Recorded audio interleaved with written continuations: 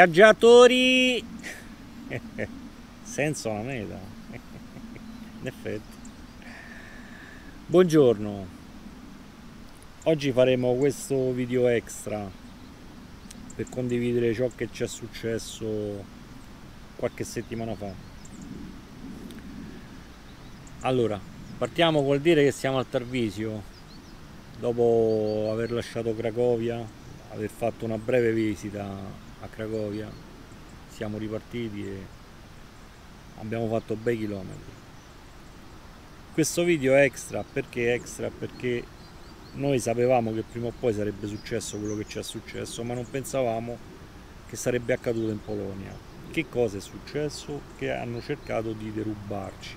E adesso vi mostrerò il video ripreso dalla telecamera all'interno dell'abitacolo di guida che tra l'altro è uno dei sistemi di sicurezza che noi adottiamo perché sapevamo che prima o poi sarebbe successo quindi cosa abbiamo detto? Ah, facciamo una cosa prepariamoci per il momento che succede e in effetti è successo uno dei sistemi di sicurezza che applichiamo è all'interno dell'abitacolo una piccola telecamera eh, posizionata all'angolo dove prende gran parte dell'abitacolo tra cui la parte di guida. Quella telecamera è accesa H24 e è in modalità di registrazione. Quindi anche se noi non stiamo guardando il display perché è collegato a un tablet che è posto sulla, sulla cucina, sul, sul top della cucina, che noi quando siamo in T-Net guardiamo ciò che succede o all'interno dell'abitacolo o quantomeno all'esterno dell'abitacolo.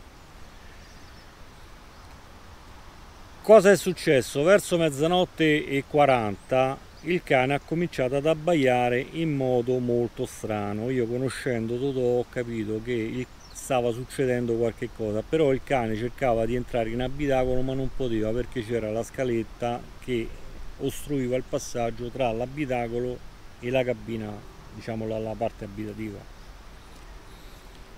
ho buttato l'occhio sul tablet e effettivamente ho visto che c'era qualcuno all'interno all'esterno del, dell'abitacolo che trafficava con lo sportello. Eh, insomma capite che non è una bella cosa.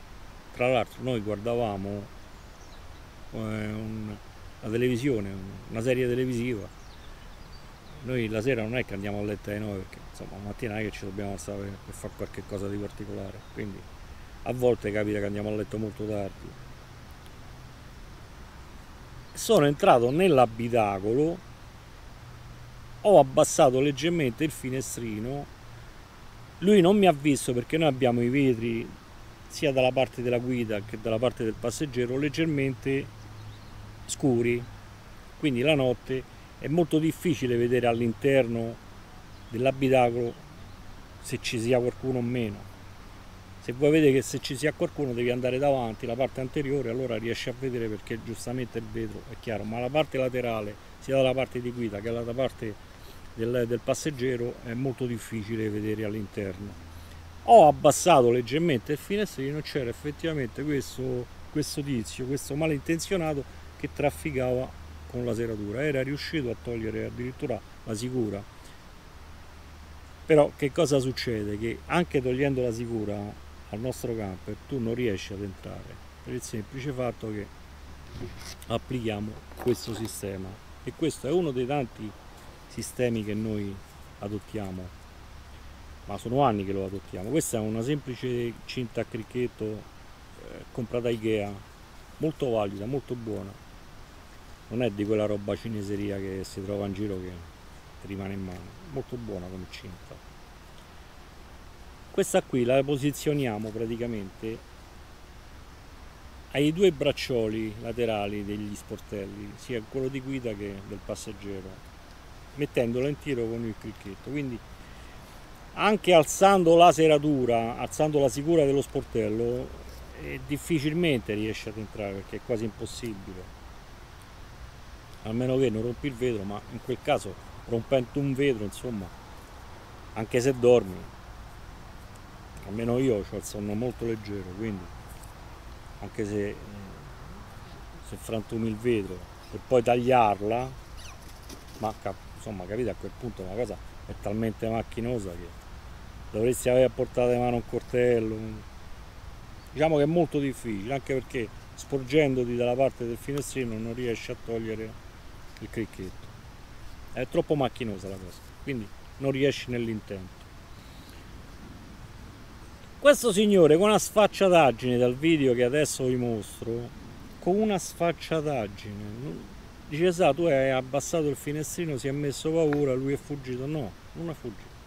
Assolutamente non è fuggito. Ha fatto il giro del, del camper dalla parte laterale è passato alla parte anteriore e abbiamo capito che parlava italiano perché ci ha detto delle cose in italiano e lì abbiamo capito che, che, che tipo era, che malintenzionato era. Quello che ci ha fatto male di tutta questa situazione è che ci sia successo in Polonia, perché noi in Polonia abbiamo passato eh, giorni, giornate intere a posti isolati, a spot isolatissimi.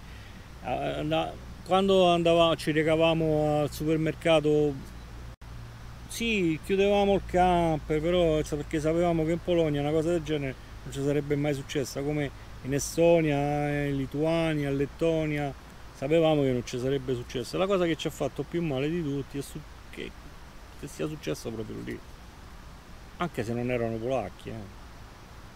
per carità. Quest'area di sosta è videosorvegliata, c'è il guardiano, c'erano macchine a destra e macchine a sinistra. Eh, dalla telecamera si nota che questa macchina è un Audi targa italiana. Un Audi viene avanti si ferma leggermente fa marcia indietro torna indietro. Questo tizio molto probabilmente ha fatto il giro dietro il camper e poi è venuto dalla parte della guida. E lì dalle immagini che, che abbiamo scavolato appunto si nota questo tizio, questo malintenzionato che... Ma con una calma, ragazzi, ma... Cioè, tranquillo, come se non fosse successo niente. Come se non fosse successo niente. Questa è una semplice cinta pagata 6 euro se non sbaglio che ha, ma è molto valida, molto ma molto valida. Dopo vi dimostro il funzionamento di questa cinta oltre alla telecamera di sorveglianza abbiamo applicato all'interno della, della, cabina di guida dei sensori di movimento. Ma non sono posti sono posti in modo che se qualcuno riesce ad entrare nell'abitacolo scatta il sensore di movimento e aziona una sirena che posso garantire veramente veramente fastidiosa. Fa un rumore mamma mia veramente alto veramente alto quindi cosa succede? Anche se noi dormiamo, il malintenzionato riesce in qualche modo ad entrare nella cabina, rompere il vetro ed entrare nella cabina, scatta la sirena, insomma a quel punto c'è talmente, talmente, macchinosa la cosa che non credo che il malintenzionato rimanga lì. Un altro sensore di movimento l'abbiamo posto all'interno del, dell'abitacolo abitativo e altro sensore di movimento l'abbiamo posto nell'interno del gavone perché voi sapete benissimo che questi cavoni dei camper eh, non è che poi siano così tanto difficili ad aprire. Quindi abbiamo posto un altro sensore di movimento all'interno del gavone. Questo è, è una cosa aggiuntiva che abbiamo. Mi devo dire la sincera verità quella sera la volevo quasi usare però ho detto non vale la pena sprecarla. Questo è il gas orticante che usa la polizia polacca libera vendita si trova in qualsiasi negozio. Lo volevo quasi usare vi devo dire la sincera verità ma non mi è sembrato sprecarlo per, per un tizio del genere. Bene io adesso vi, vi dimostrerò come funziona la cinta. Il funzionamento della cinta, il funzionamento del sensore in modo che se eh, condivido queste cose che se qualcuno volesse, volesse dei spunti noi, voi sapete che noi la maggior parte delle volte la passiamo in libera con sei mesi di viaggio abbiamo passato due volte, una volta in una sosta camper e un'altra volta perché siamo andati ci siamo recati per, per carico e scarico a un campeggio.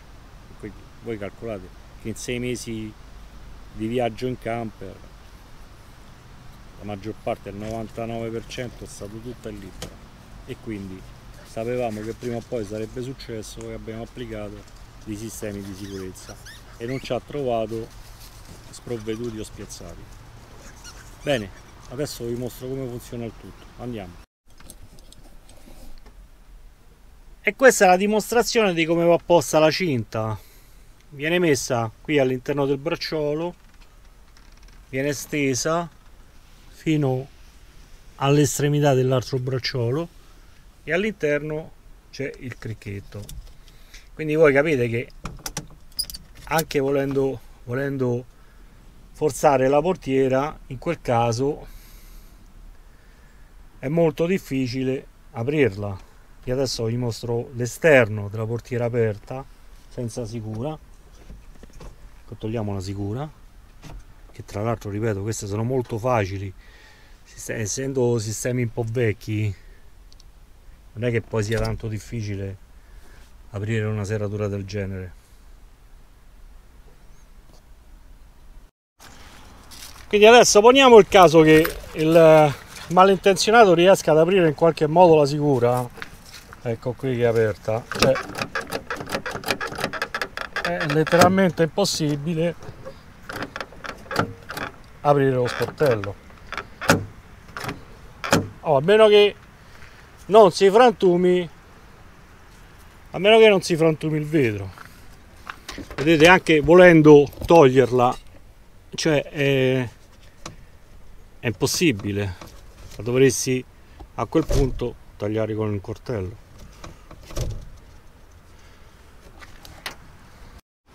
Adesso poniamo il caso che il malintenzionato riesca in qualche modo a rompere il vetro e vuole in qualche modo.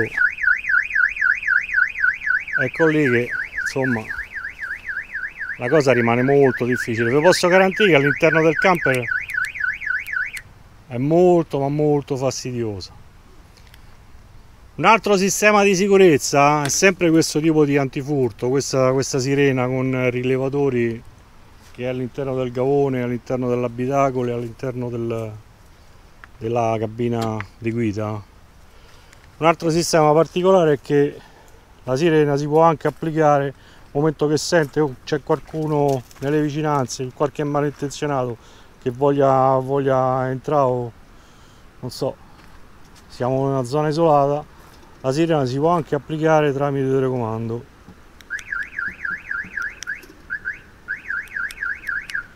E vi posso garantire che funziona, funziona veramente bene. E come sistemi di sicurezza adottiamo questi. Poi ce ne sono altri per quanto riguarda il motore. Anche, anche se il malintenzionato voglia rubare il camper eh, vi posso garantire che almeno che non te lo porti via col carattrezzi sarà molto difficile portarlo via. Perché ci sono altri sistemi all'interno del, del motore che bloccano sia la messa a moto che quelli di sistemi non ve li svelo perché giustamente insomma meglio che me li tengo per me. Bene. Dove ci troviamo? Al Tarvisio e questa zona qui tra l'altro che adesso vi mostro. Non so se voi avete visto dei video dell'altro anno siamo al Tarvisio. Questa è una delle soste che noi abbiamo adottato l'altro anno quando siamo venuti in Trentino. Abbiamo fatto sosta anche in questo spot. Eravamo proprio qui. C'era l'acqua al fiume adesso non c'è niente. C'è un rigagnolo invece quando siamo venuti l'altro anno c'era c'era acqua in abbondanza. Totò che sgambettata stamattina si è fatto pure il bagno. Acqua stupenda questa è la zona. Siamo proprio a 3 3-4 km da Tarvisio città Tarvisio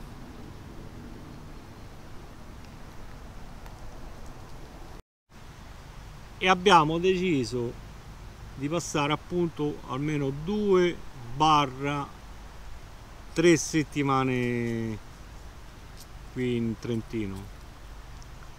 E poi ci sposteremo e la nostra prossima destinazione sarà la Spagna. Quindi da qui, da qui a breve inizieremo il nostro percorso direzione, direzione Spagna Bene signori, io spero che il video vi abbia fatto piacere e cosa dire, ci vediamo alla prossima e seguiteci, seguiteci, seguiteci, seguiteci. GoPro resta video.